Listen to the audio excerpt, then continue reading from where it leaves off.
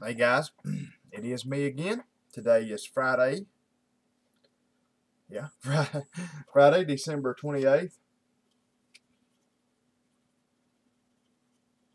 I have moments of senility, guys.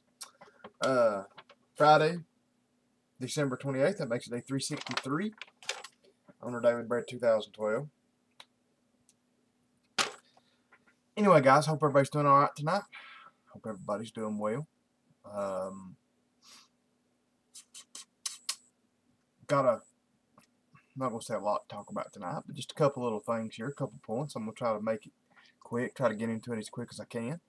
Um, number one, guys, I want, I want to apologize for not being here last night. Uh, I know I told you guys that we were uh, rebuilding the engine in the car at work at Kia, and uh, I think I told you that you guys this the other day that the machine shop guy where we bought all our parts from, he forgot to put our head bolts in the box. Or they didn't send them on his order or something. I don't know really what happened, but we didn't get them. And it was one of those deals on the car. It, it I told you guys this, I think, that it, it, it said new head bolts recommended but not required.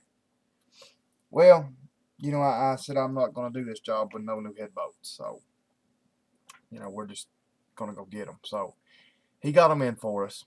And uh, Dad ran over there yesterday evening and picked them up. Well, you know, I worked out last night. So, anyway, when I got home from working out last night, in order to have the head torqued down and everything ready, or at least so I thought, to get everything ready, so when the boy came in first thing this morning, he could kind of get started and pick up and go. You know, I thought we was going to be ahead of the curve. So anyway, guys, I got I was down there all night last night. Uh, went down there, said oh, I'll be there 15 minutes, be back home. First off, our new head bolts were the right bolts, but the washers that that were on them, and they're built onto the bolts. You can't take them off. Were uh, 40 thousandths of an inch bigger round, bigger in diameter than the old washers. And on two or three castings in the head that it had to go by to get in its bolt hole, they wouldn't go through. So anyway, I had to bring two of them up here and put them on the lathe and, and trim the washers down. Uh, finally got all that done, got them torqued down, but I noticed the, the two on the end. Because like I said, it, they're, they're torque to yield bolts, which means you take them to a certain foot-pounds, a certain torque, then you take them to a certain degrees. Well, when I got all the rest of them around to the 90 degrees, they were pretty tight. You know, I was doing it with a 3 8 torque wrench, and it was getting to about 60, 65 foot-pounds. Well, the ones over here on the end, they just both went to like 40, 38 or 40. And I said, well, that's not hardly the same, but maybe the head's thinner on that end, and I'm just getting a different feel, whatever. So I just, I didn't, kind of bothered me, but I didn't think more of it. So anyway, guys, that's what I'm getting at. I was down there like all night, literally, by the time I got all this done. I, by the time I got home, it was too late to make a video. So, anyway, that kind of takes me into my next thing. I want to praise the Lord for catching something, for letting the boy catch that today. You know how I was just telling you those two boats didn't feel exactly right? He went ahead and put the timing belt on it, timing gears, got it, a lot of it done. And something just, he said, told me to look down at those boats. And he said, don't get me wrong. He said, I never check your work. He said, because, you know, he said, if I expect anybody to do everything right, he said, it's you. So he said, I wasn't checking your work. I said, well, you're not insulting me for that. But anyway, he said, he just got to look at it, and he said those bolts didn't look right to him. So he took his magnet out of his pocket and reached down there, and the washer rattled on it, which means the bolt wasn't tight. So anyway, guys, long story short, I praise the Lord for showing him that because what happened was he didn't notice it when he took the, the head apart, and I didn't notice it going together. Most times when head when heads have like different length bolts, they'll have like five long ones and five short ones, or six long ones and six short ones, and and you can really tell a difference in them. This head, guys, the two on the front, the head bolts were like this much. I'm trying to get it where you guys can see it, like that much shorter, and that was it. I mean, you really got to strain to look those two bolts were supposed to be shorter, and I had the longer ones in it, and they were bottoming out before they were tightening up against the head. So anyway, we had to take it all back apart today. I torqued them all down, checked them against the old head bolts, and they were still shorter. which means they've not stretched yet, which they won't stretch a lot until the car gets hot, cools down, does some heat cycles. But anyway, I want to praise the Lord for letting us catch that because that would have been a leaking head gasket, you know, when the car started up. So, anyway, what else? Uh, normal stuff, guys. Just keep praying for us. As, of course, as I expected, no payday today. I mean, guys, we brought in $299 today. And I hate to, well, no, I'm not going to say I hate to admit it. It shows you how God changes your perspective sometimes, what I'm trying to say. Guys, I was tickled to death to bring that $299 in today. You know, normally I would go, $300? We're going to do better than that. But the way this week's been going, I was tickled at 299 Guys, we have brought in money-wise this week, gross, in uh, 45 hours of work, what we normally bring in in 12 or 13 hours of work.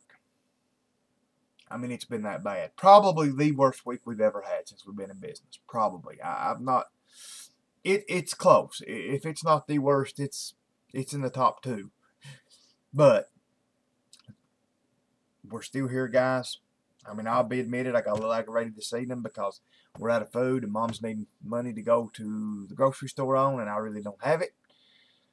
So, you know, I can't give it church Sunday and just all these different obligations I can't meet. But you know what, guys? I'm not going to worry about it. Um, the Lord's going to bring it through somehow.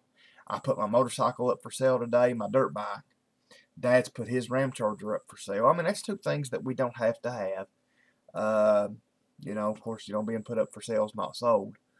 So, you know, just just pray, guys, that the Lord will send people to buy those things. And, uh, you know, just pray that we can keep our faith up. You know, like I told Dad today, the big thing that bothers me right now is the church is going through just as hard of financial times as I am. And it bothers me when the church goes through financial hardships and I can't help it. You know, there's been many a months before that I have paid the power bill out of my own pocket. That I have paid, me and Dad paid the mortgage one month out of our pockets. You know, we've, we try our best to, to when times are rough in the church financially. If we've got the money, we, we, I mean, we don't hesitate to throw it in and keep it going it bothers me when the church is going through financial hardships and I can't help it. Which maybe that's the way, that's God's way of showing that, hey, you know, I'm the one doing this, you know, not you. Which I, I know it's him, him anyway. But like I said, guys, just pray for, for our finances, pray for our business. Uh, you know, I know it's going to get better, you know, after first of the month, you know, I know it's going to pick back up. But uh, just pray for us, guys. Pray for all that. Something else I wanted, I wanted to kind of give a little bit of a shout out tonight. Oh, brother uh, Jeff Chance, uh, I got your uh, message you sent me, and I sent you a message back. So if you see this before you check your email or whatever, check that. I uh, I sent you a message back. So wanted to say that before I forgot it. Uh, I just wanted to give a little small shout out shout out to uh, well, how many of you guys know him or seen him? Shop Dog Sam channel on YouTube. Um, I just got done watching one of his videos. He was making, he made uh, cabbage and Polish sausage. Uh, put it like in a stew, you know, put beef broth in it, boiled it up, and, and then fixed uh, cornbread with it and stuff. Anyway, he does some cooking videos. He does, uh, he fools with these uh, old uh, internet, I think International made them, or I, I don't know the deal. I know I've heard them call them International Harvester McCormick Deerings. So I don't know if McCormick Deering made them for International Harvester. International Harvester made them for McCormick Deering is what I'm thinking. They were baling wire engines. We don't have farms really around here, never have had really. So I don't know much about a baling wire machine, baling wire engines. But anyway, he fools with them. Uh, he's got him a little, pretty good little machine chopper. He's got him a Grizzly G0602 lathe, which is the next size up for my lathe. Pretty decent size lathe. Reason I didn't buy one, it's really too big for my shop. Too big for the space I got. But anyway, uh, he's got him a Grizzly uh, mill. Uh, he where he does those engines, you know, he, he redoes those engines, you know. Um, and he's actually from, he lives in Arkansas now but he's actually from Harlan County, which is the county next to us. Uh, it's actually between my county and the county that I know most of you guys know or know of, Mad Bad Voodoo, Brother Richard. Richard, I hope you see this. Um, Richard's got a house in Kentucky. He, you know, he lives in Ohio, but he's got a house in Kentucky too, in Bell County. And Harlan County is actually the county between Letcher County, where I live, and Bell County. Harlan County is the county in between those two. So, uh, anyway, that's where Shop Dog Sam's originally from, and he does good, good videos. I mean, he's a pretty, pretty he's a pretty good old guy. Uh, I got to laughing at him and eating when he was eating there. He said that he said something that that's the truth. You know, he said. Uh, we may be, he was talking about how good eating that was. He said, boy, we may be poor, he said, but we sure do eat good. And uh, that's what I've always said. And kind of the same deal, and that's kind of what got me aggravated today. I said, you know, I've been in financial hardships before, but I've, I've, I've had only maybe one other time in my life where I ever got to the point to where I was wondering how I was going to buy food for my family. And, you know, that gets scary, and that gets that gets and I and I know you've got family members you you know that you can borrow off of and that you know, they always say, oh, if you get in that hard shape, you know, let us know. We'll help you. We'll. But you know how you are as a person. You're you're you're proud. You don't want to ask nobody for nothing. You know, I don't. I, I since I was 17 years old, I've been working. I've been supporting my family, and uh, I've never really had to borrow, you know, from anybody. So I just I, I hate doing that. But anyway, guys, Shop Dog Shop Dog Sam S H O P D O G S A M Shop Dog Sam. Look him up subscribe to him. I think I've only talked to him once, you know, messaged him on, on YouTube once. I think he mentioned something about being from Harlan County, Kentucky, and I think I messaged him about that. And uh, he don't know me from apple butter, but uh, he's got a good channel, so uh, go check him out. Anyway, guys, let's get to the important thing tonight. I figured since I wasn't here last night, we'd make this video a little bit longer, do a little bit more talking. So, uh, 1 John chapter 1, starting in verse 1, here we go. That which was from the beginning, which we have heard, which we have seen with our eyes, which we looked upon and have touched with our hands concerning the word of life. My e-sword will catch up here, guys. The life was made manifest, and we have seen it, and testify to it, and proclaim to you the eternal life, which was with the Father, and was made manifest to us. Talking about Jesus Christ. Talking about the, the eternal life that has always been with the Father, part of the Father, and was made manifest, was made and brought to us.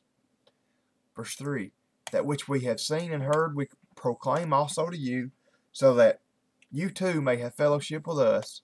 And indeed, our fellowship is with the Father and with His Son, Jesus Christ. And we are writing these things so that our joy may be complete. This is the message we have heard from Him and proclaimed to you that God is light, and in him is no darkness at all. If we say that we have fellowship with him while we walk in darkness, we lie and do not practice the truth. But if we walk in the light as he is in the light, we have fellowship with one another, and the blood of Jesus, his Son, cleanses us from all sin. If we say we have no sin, we deceive ourselves, and the truth is not in us. God had to use this verse right here on a lot of people, guys, because that's the first thing a lot of people will try to come up and say, oh, I, I don't sin. You know, even uh, you know a lot of people that claim to be saved, some that claim not, some that don't claim to be saved, but a lot of people that claim to be saved say they don't sin. You know, I can remember, and uh, Brother Woody, I remember this. Me and him used to watch him on here. What was the guy's name? I can't remember his name now. Uh, Woody, you'll know it, bro. Jan. Uh, I can't remember his cha- uh, final call he was kind of one of these guys that kind of preached once you get saved, you never sin again. And, you know, I just, I don't see that. And, you know, John is saying here, you know John is a saved person. God's Spirit is indwelling him to write for the Bible. God does not do that with unsaved people. So he is saved. But what he what does he say here? If we say we have no sin, we deceive ourselves and the truth is not in us. So as a saved person, he's including himself in. He's saying if we say we don't sin, we're just deceiving ourselves and the truth is not in us. So, I mean, I, you know, are we going to walk in darkness? Are we going to walk in sin? Are we going to wallow in sin and love it? No.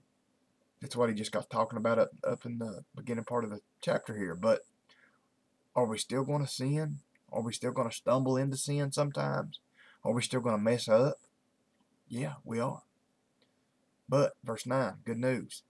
If we confess our sins, he is faithful and just to forgive us our sins and to cleanse us from all unrighteousness. If we say we have not sinned, we make him a liar, and his word is not in us. Now, I'm glad he's covering both aspects of it now. He's saying if we say we've not sinned, and that's what somebody could say now. I said, well, John, up in the verse just up a second ago, he was talking about past sins. Everybody has sinned in the past. No, guys, right here he's talking about past sin. In verse 8, he's talking about present. If we say we have no sin, we deceive ourselves and the truth is not in us. So anyway, guys, that's where we're going to stop tonight. That's 10 verses. We'll be, uh, good Lord willing, we'll be doing chapter 2 tomorrow night. So anyway, guys, I love you all. Keep praying for us. Good Lord willing, I'll be back tomorrow night. Until I see you all again, good night. And God bless.